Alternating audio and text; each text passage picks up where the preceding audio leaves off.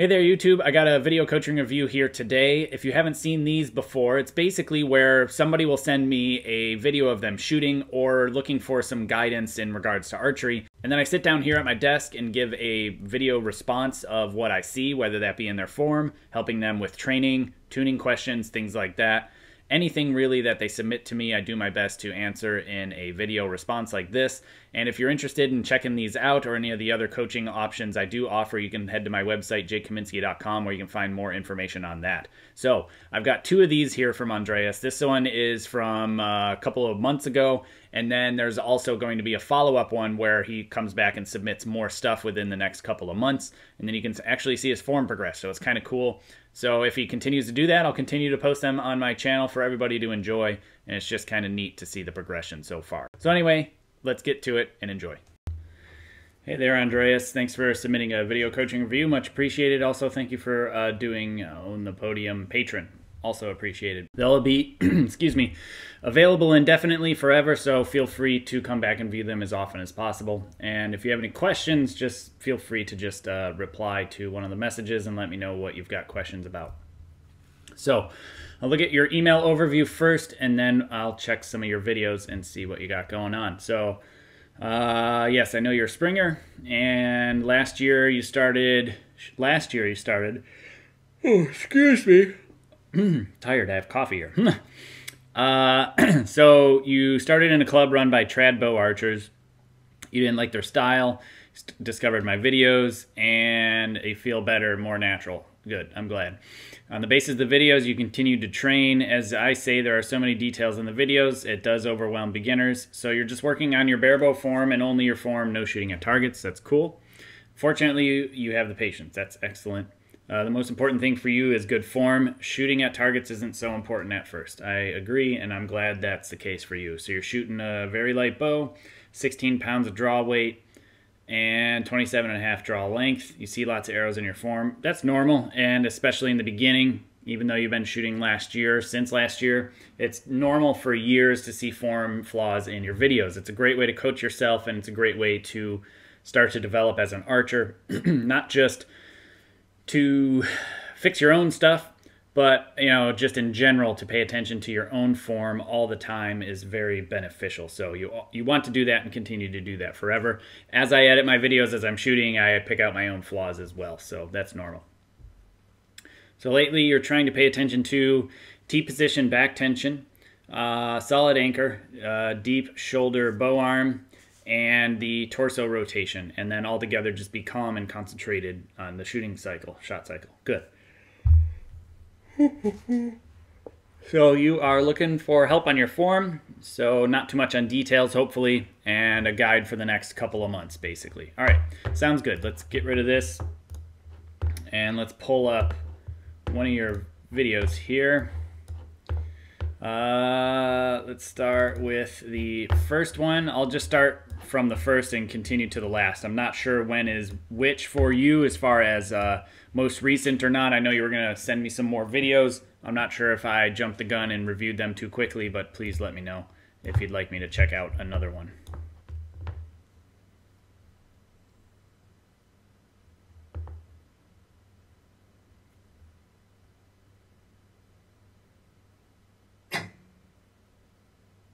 Overall, not too bad on this one here.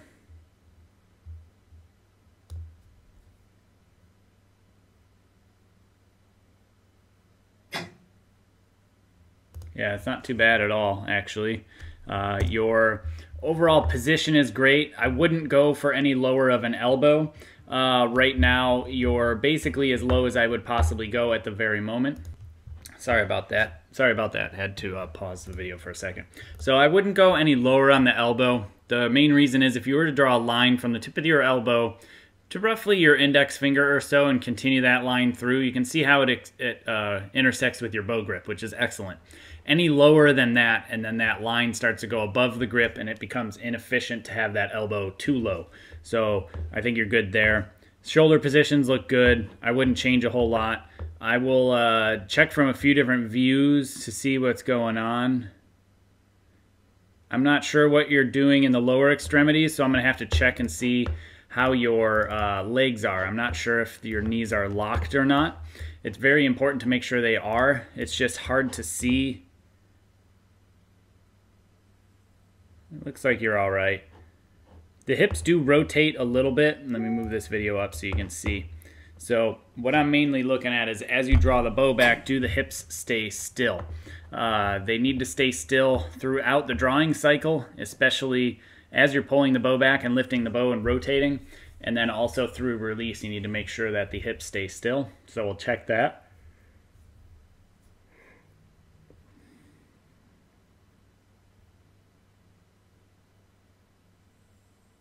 They rotate a little bit as you go to draw the bow.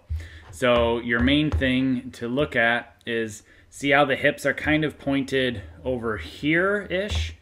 And then as you go to draw, see how they rotate a little bit? Just that little bit. They rotate towards the target.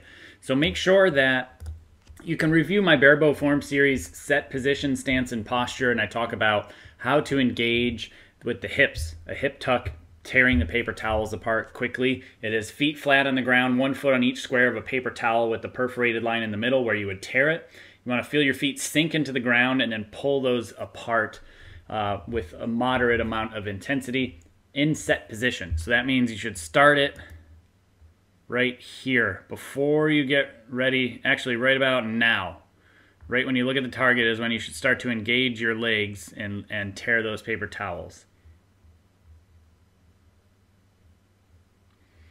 That's what I would would uh, work on for that. Now, as far as your actual position, you end up in a good spot here. I think you can start this rotation here, that that rotation right there as the front bow shoulder moves forward and this shoulder moves around. I think you can start that rotation earlier from here. As you lift the bow, start to rotate. So don't just go here to here to here to then pull you don't quite do that because you've been doing it enough and focused enough that it looks more fluid.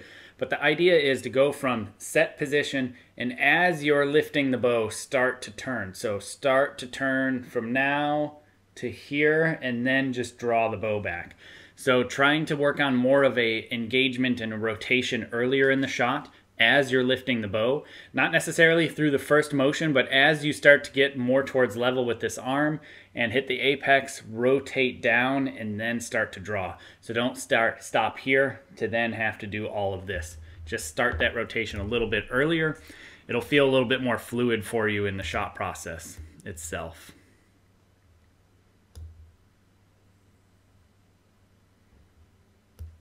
I wouldn't be too careful drawing either. Make sure you're focused on this spot in your shoulder, the back side of your shoulder, the mid part of your arm, somewhere in this area on the land too. Move that and pull with some power and authority behind you. Being that this bow is very lightweight, it takes you a considerable amount of time to draw the bow back. I know you're trying to emulate form, so obviously you're probably doing it slower than you would if you were to just pull the bow back. But I want you to be able to just pull the bow back, get to power, get to full draw, then anchor. Don't be too careful. It looks to me like you're really trying to draw the arrow back instead of pull the bow back because this follows the arrow line whereas normally that elbow will drop slightly as you draw because you're pulling with power to then anchor if that makes sense. So instead of pulling like along the arrow line with that elbow following straight, pull through the bow, through the bow, bow grip and use this to pull back and you'll see the elbow drop and then you can come into anchor as opposed to pulling like this. So from this perspective, if the target was that way, instead of pulling like this, pull with the shoulder and you'll see how it drops. The elbow comes down and around because it's more efficient to follow this line as you go to pull, especially from this high line like you draw from, which is fine. Just don't pull on the arrow line. I want you to pull from the grip and pull to the, the shoulder. Get the bow back and then anchor. Don't be so pulling on the arrow, basically. You don't want to pull from the arrow. Because you can tell as you go to here, it's all in a straight line as you're going to draw. See how the elbow moves straight around and comes up into anchor, that elbow should drop down. And what you're doing is you're kind of jamming stuff up in the system and creating a little bit of excess tension. And you can see from here, watch your even your shoulder goes up as you draw and it jams up into this area instead of using more down here. Pull with the shoulder and lead with the shoulder through the bow grip, not on the arrow line.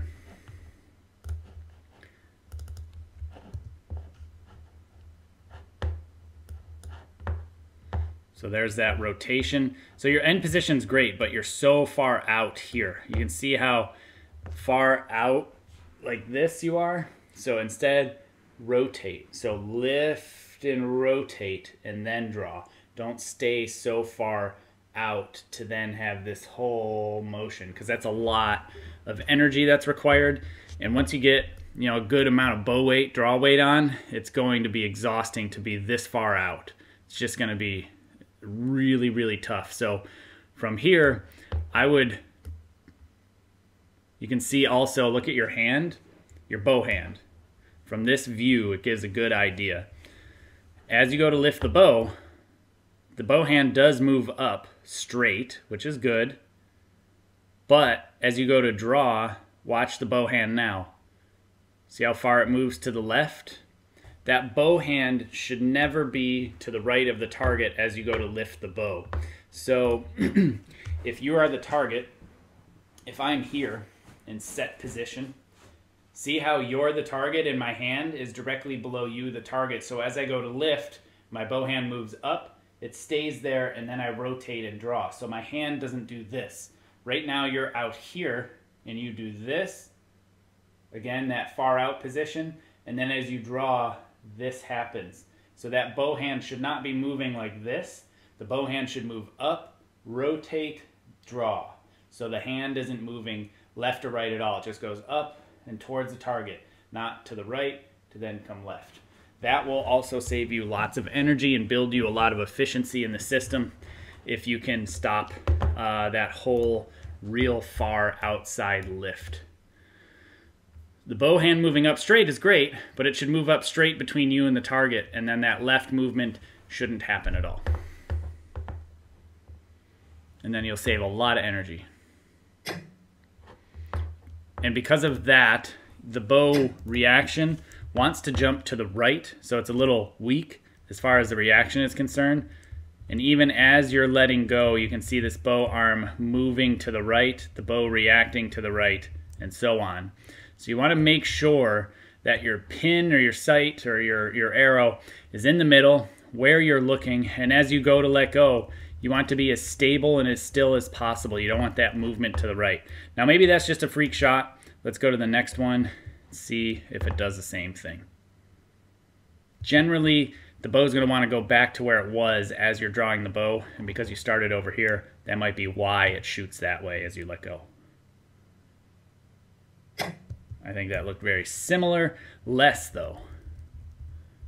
See how the bow hand collapses this direction as you're starting to let go? You lose the tension back here for stability, and you can actually see you're also grabbing the bow before you let go. So just let it happen. Don't do anything on the front half. Let's jump forward to a later video. See how the bow is pointing to the right? and then it moves to the left as you draw. You want to try to keep that hand straight to where you want it to go. Your alignment is great. Body position posture is fine. You just want to make sure you stay engaged as you go to let go. Don't let this collapse, this movement happen before you let go. Here's an even later video, I believe. Bowhand still's moving to the left. The draw was better. Just rotate as you lift, set in, lead with the shoulder, draw from the, the grip through the backside of the shoulder, keep the tension, let the process happen. And when you let go, you're just letting go of the string, but maintaining the tension here. You're not losing it anywhere else. The bow hand looked better. You didn't grab the grip on that one. Still looks like it's moving to the right right before you let go.